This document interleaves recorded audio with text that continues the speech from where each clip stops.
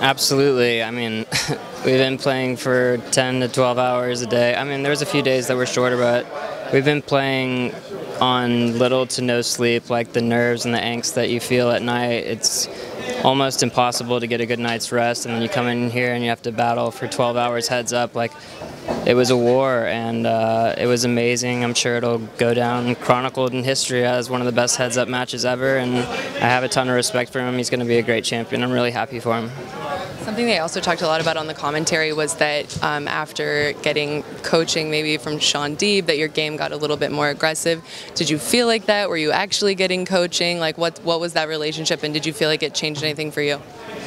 Um, yeah, I mean, uh, my my team have been working on our game on this. We've been visualizing this scenario beforehand, and uh, Shaun's been a good friend of mine. He's been working with us all night, and uh, yeah, I mean, the, the, the dynamic of heads up play is just a more aggressive style, anyways and uh, we were looking to do some do some things to give us an edge, and uh, I think we did a great job. You know, it was really unfortunate the last hand. I thought I saw a ten of hearts flash in his hand. I even told him during the hand that I saw his card.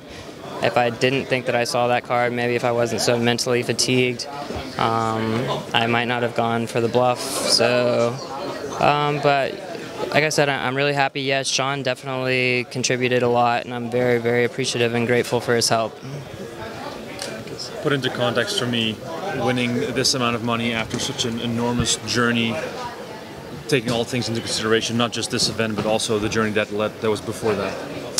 Um, Well, after the uh, after the disappointment of losing, which there is some, I'm going to be honest, subsides, I'm sure I'll be very happy that uh, I'll be able to help my family and uh, do some traveling and some stuff that I've been wanting to do for a long time. It truly is a blessing to be here. I ran like way above average just to get to this spot, and uh, I'm very grateful. This, of course, was something that you shared with a lot of people. Your rail mm-hmm. was very vocal and very loud through all the hours of play today. Please talk to me about the feeling of having that support. Um, it, it's indescribable. You can't put it into words. Uh, these are the moments that you live for when um, you can make your parents proud. Um, you know, and I, I said that I, win or lose, I just wanted to do it with grace, and so um, I'm happy that I was able to do that in front of my parents. I think they're proud. I think for in a lot of years we talked a lot more about what it means to be an ambassador for poker. And for the last couple years I feel like somehow that's maybe gotten a little less in the mix. But especially during this tournament it went so fast. We went you know quickly without anybody thinking. But I think for a lot of people as fans and media we were all looking at you guys as people who could really be great ambassadors for poker. And I think you know runner up or winner that's still some like a, a title you're gonna have to carry.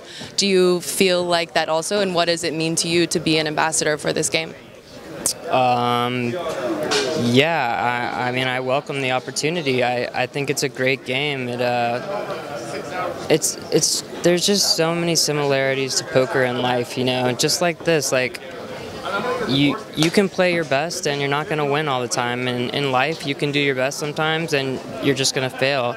And you have to get up and try again. And like there's so many great analogies and so many things you can learn from this game. So uh, I welcome the opportunity. I'm looking forward to being an ambassador for the game. I love this game. I'm very, very passionate about it, and I'm looking forward to, you know, helping promote it.